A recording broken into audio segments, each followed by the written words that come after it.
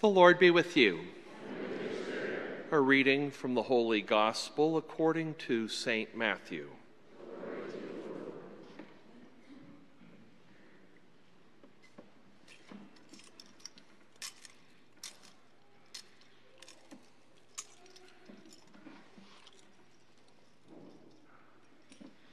When Jesus heard that John had been arrested, he withdrew to Galilee. He left Nazareth and went to live in Capernaum by the sea, in the region of Zebulun and Naphtali, that what had been said through Isaiah the prophet might be fulfilled. Land of Zebulun and land of Naphtali, the way to the sea beyond the Jordan, Galilee of the Gentiles. The people who sit in darkness have seen a great light. On those dwelling in a land overshadowed by death, light has arisen. From that time on, Jesus began to preach and say, Repent, the kingdom of heaven is at hand. As he is walking by the Sea of Galilee, he saw two brothers, Simon, who is called Peter, and his brother Andrew, casting a net into the sea. They were fishermen. He said to them, Come after me, and I will make you fishers of men. At once they left their nets and followed him. He walked along from there and saw two other brothers, James, the son of Zebedee, and his brother John. They were in a boat with their father Zebedee, mending their nets. He called them, and immediately they left their boat and their father and followed him. He went around all of Galilee, teaching in their synagogues, proclaiming the gospel of the kingdom, and curing every disease and illness among the people. The gospel of the Lord.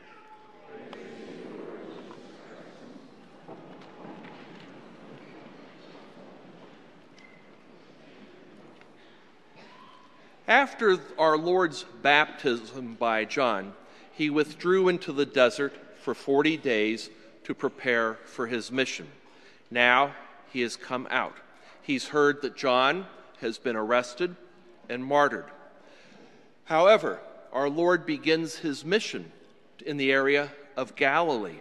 So, this is the uppermost part of Palestine, above Judea, where Jerusalem was, above Samaria, and now the northern part.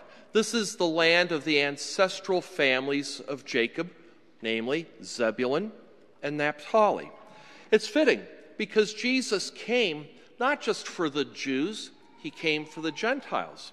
About 700 years before our Lord, the Assyrians had invaded that area of northern Israel, and they had settled, colonized.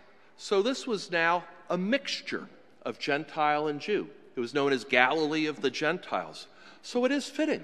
Jesus came to proclaim his message to all people. The message is simple repent, reform your life. It means turning our lives over to God, no matter who we are. He's come to reveal to all people the truth of God and the love of God.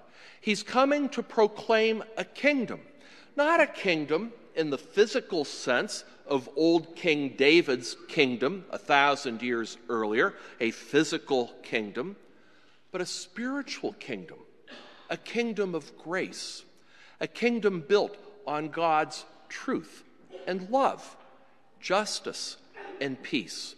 All who are called to live that kingdom. This kingdom will be made visible by the church. Those who are the believers who are called to live that life of grace. Seeing that the mission needs to be carried on, to the end of the world, our Lord calls the first apostles. We hear of him calling Peter, his brother Andrew, then James the Greater, his brother John, and eventually eight others. They leave everything. They left their homes, their occupations, their friends, their family, all to follow Christ. For three years they learned. So they saw his miracles, they heard his teachings, they had their private instruction, in all, our Lord was calling them to come out of themselves, to open up their hearts, to see beyond the confines of this world, this little time and space, and envision God's work at work in this world, and to make the sacrifices to bring that work to fruition. He's calling them to see beyond their own selfishness and recognize the needs of others. He's calling them to see beyond even the limits of this life and have the hope of eternal life, the fulfillment of that kingdom. And all these apostles learned with that three years of training. These apostles at the Last Supper were officially ordained as priests. Then, after Easter, they had another 40 days of instruction with our Lord.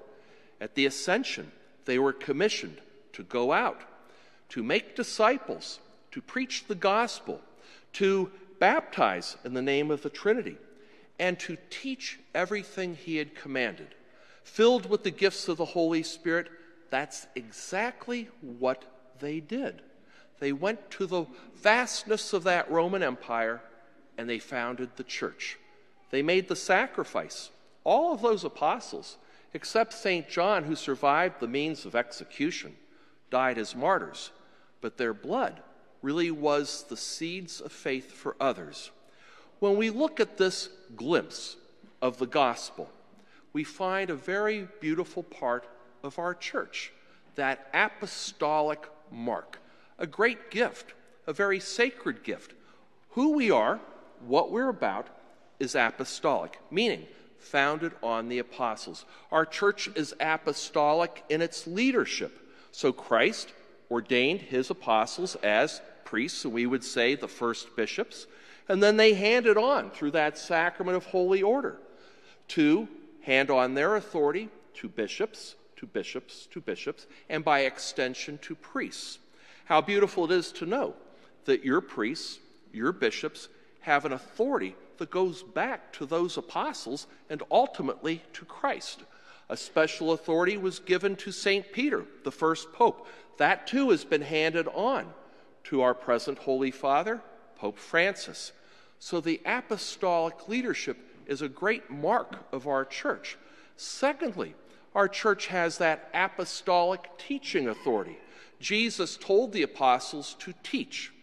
At the Last Supper, he told them he would give them the Holy Spirit, the Spirit of truth, who would enlighten them, guide them, not only to teach, but to understand. So these apostles in the early church, by the Holy Spirit, said, yes, these 46 books of the Jewish scriptures that we call our Old Testament, we will preserve. And these new 27 books that we call the New Testament, we will preserve. This is our Bible, the Word of God. The church is the one who put that together and said, These are the inspired words of God. The Second Vatican Council clearly taught that that which is asserted by the inspired human authors, like St. Matthew, must, said, must be said to be asserted by the Holy Spirit, so that the words of sacred Scripture teach firmly, faithfully, and without error that truth God wanted us to have for our salvation. It doesn't stop there, though, because as we know, the Bible doesn't have all the answers, like about nuclear war about bioethics issues and so on. So the church teaches. It takes this truth, the living word of God, and by the Holy Spirit teaches so that you and I, right now, can live an authentic Christian life. Therefore, if you ever have a question about life, if you ever have a concern or a doubt, don't go to the Washington Compost. Don't go to the New York Slimes. Go to the Bible. Go to the Catechism of the Church. It's there. That's God's truth, not popular, fleeting opinion. We have God's truth, and we're called to conform our lives to that truth. Our church is apostolic in its worship. What we do now goes back to the apostles. The Mass really hasn't changed. Maybe translation, maybe added a few prayers here and there, but the basic Mass has not changed. And we have the seven sacraments. So these divine instruments that Christ instituted by which he gives us grace.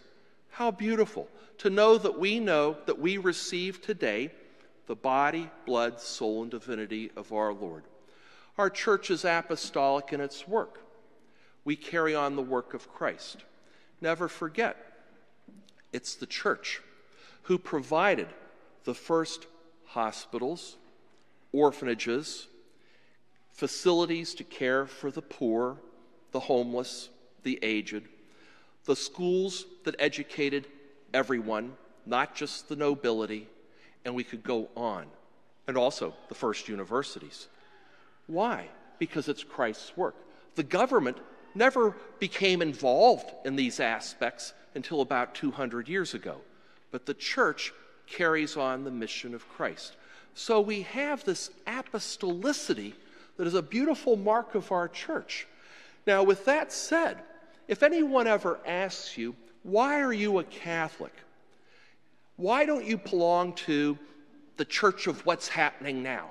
We have a band, we have a slick pastor, you can do whatever you want to do, feel good. Why don't you belong to that church? Well, that's like saying, I'll eat at McDonald's instead of Dante's. No, we're going to go to where we're fed the best. As the Vatican Council said, the fullest means of salvation subsist within the Catholic Church. Also, it's interesting that just about a month ago, an Anglican bishop, his name is Gavin Ashenden, who was a chaplain to Queen Elizabeth in London, who is the official head of the Church of England, became a Catholic. And he said, I came to realize that only the Catholic Church, with the weight of the magisterium, had the ecclesial integrity, theological maturity, and spiritual potency to defend the faith, renew society, and save souls in the fullness of faith. If you asked Father Sly, whom I'm sure you remember, who it, he himself was an Anglican bishop at one time, became then a Catholic, then a Catholic priest, he would say the exact same thing. With that said, though, we don't become smug about this, but rather we have to face a challenge. Jesus called those apostles, he sent them out. And so we're called to go out and continue the mission. So we need courage. We need courage for you parents. You parents have to have the courage to have a home that is really a Christian home. Your home should reflect this church.